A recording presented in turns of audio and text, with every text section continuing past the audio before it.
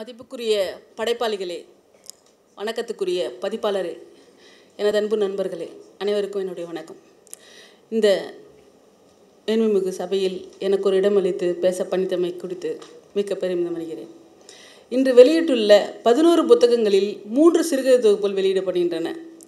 அஞ்சான சிறுகதைகளை வேறு வகைமைப்படுத்த வேண்டியிருப்பதால் மூன்று சிறுகதை தொகுப்புகள் என்றே சொல்லலாம். இந்த மூன்று சிறு சிறுகதை தொகுப்புகளில் எஸ். செந்தில்குமார் அவருடைய அவர்களுடைய சிவப்பு கூடை திருடர்கள் என்ற இந்த சிறுகதை தொகுப்பும் வெளியிடுகிறது அது குறித்து பின்னர் வெகு காலம் இதன் பின் நான் நீண்ட உரை வேறு கூட்டங்களில் பேச வேண்டி பேச வேண்டிய விருப்பம் விருப்பத்திலும் ஆய்வு செய்ய வேண்டிய எழுத வேண்டிய விருப்பத்திலும் இருப்பதால் இப்போது ஒரு சின்ன அறிமுக உரையை மட்டும் உங்களுடைய நிகழ்த்த விரும்புகிறேன்.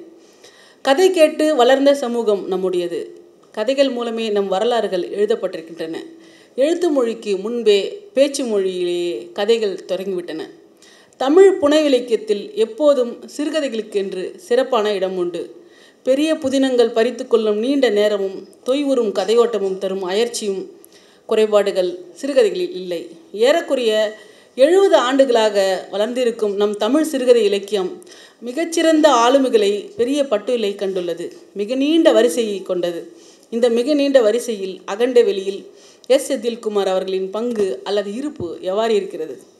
சிறுகதை இலக்கியத்தை இரண்டாயிரம் ஆண்டுகளுக்கு இரண்டா ஆ- இரண்டா இரண்டாயிரம் ஆண்டுக்கு முன்பு இரண்டாம் ஆண்டுக்கு பின்பு என்று இரு இரு வகை வகையாக வகைமைப்படுத்திக் கொள்ளலாம்.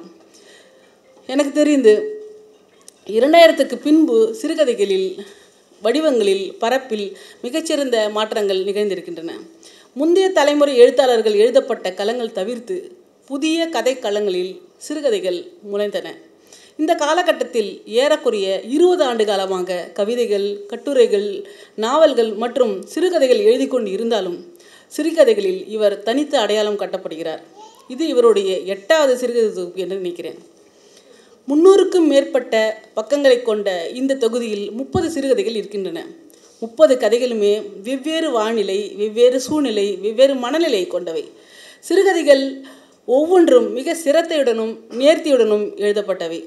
வட்டார கதைகள் என்ற வகைமைக்குள் இந்த கதைகளை அடர்த்திவிட முடியாத அளவில் எந்த நில மக்கள் படித்தாலும் அவர்கள் அணுக்கமாக உணரக்கூடிய சூத்திரத்தை கைவரப்பட்டிருக்கிறார் எஸ். செந்தில்குமார் அவர்கள்.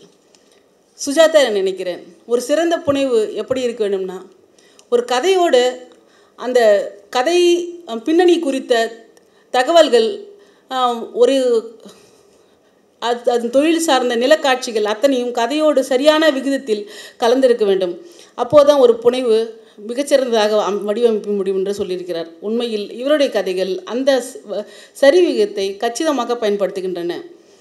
எல்லா கதைகளுமே முப்பது கதைகளுமே அப்ஸ்ட்ராக்டிவாக இல்லாமல் எல்லாமே நேரடித்தன்மையான கதைகள் தான். ஆனாலும் ஒரு நுட்பமான மன உணர்வுகளை நுட்பமான வாழ்வியல் முறைகளை சொல்லப்பட்டிருக்கிறது.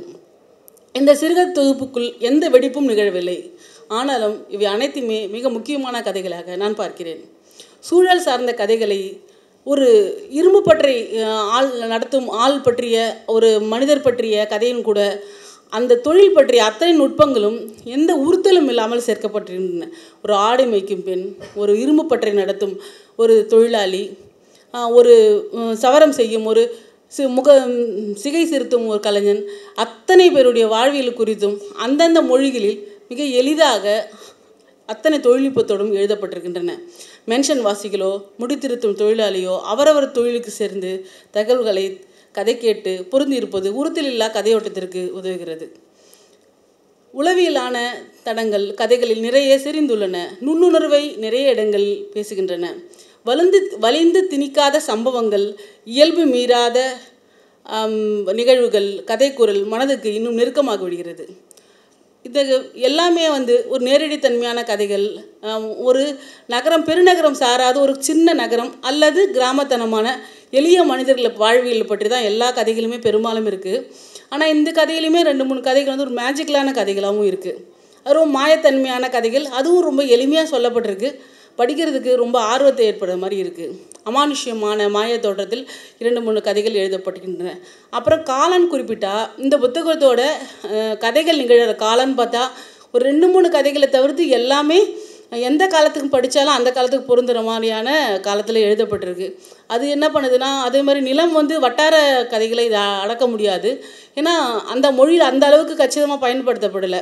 ஸோ எந்த பதி பகுதி மக்கள் படித்தாலும் அந்த பகுதி மக்களுக்கான கதைகளாக அது வந்து திரிபடைகிறது அதனால் மேலும் இந்த கதைகள் கொடுத்து அவருடைய நான் ஒரு ஒரு ஒரு சின்ன சி சிறுகதையுமே ஒரு பெரிய நிலக்காட்சிகளை சொல்லுது. ஒரு பெரிய நாவலுக்குரிய செறிவோட அது எல்லாமே ஒரு சின்னதாக ஒரு சுருக்கத்தன்மையோடு இருக்குது. அதனால் படிக்கிறது ரொம்ப ஆர்வமாக இருக்குது இப்போ ஒரு சிறுகதை வந்து ஒரு சில சிறுகதைகள் ஓர்மைத்தன்மையாக இருக்கும். அந்த மாதிரி இல்லை. எல்லாமே வேறு வேறு வகைமையில் இருக்குது இப்போ ஒரு சிறுகதை படிச்சுட்டு வச்சுட்டு ஒரு சிறுகதை படித்து முடித்ததும் நம்ம மூடி வச்சுட்டு படிக்கிற மாதிரி இல்லை. எல்லா கதைகளையுமே தொடர்ந்து வாசிக்கிற மாதிரி தான் இருக்குது அதனால் வேறு வேறு களங்களில் இருக்கிறதால அந்த நமக்கு ரொம்ப ஆர்வத்தை ஊன்ற மாதிரி இருக்குது படிக்கிறதுக்கு ரொம்ப சுவாரஸ்யமானதாக இருக்குது அந்தந்த ஒரு ஒரு ஒரு கதைகளும் ஒரு ஒரு சிறுகதைகளும் அந்தந்த நேரத்துக்கான ஓப்பு அந்தந்த நேரத்துக்கான ஒரு அனுபவம் அப்போதைக்கான ஒரு ஞாபக கிளறலை இந்த கதைகள் தருகின்றன. இது வந்து கதைகள் குறித்து பேசுகிறதுக்கு எதுவும் இல்லை. ஒரு கதையை விவரித்து சொல்கிற இடமும் இது இல்லை. ஆனால் எஸ். செந்தில்குமார் அன்றாடங்களின் அழுத்தங்களிலும் நாள் நாள்களின் நெருக்கடியிலும் தீவிரமான பிடிவாதமான இலக்கிய பிடித்தர்களாக இருப்பது எம் போன்றவர்களுக்கு இலக்கியத்துக்கு மீதான மிகுந்த நம்பிக்கையை ஏற்படுத்துகிறது.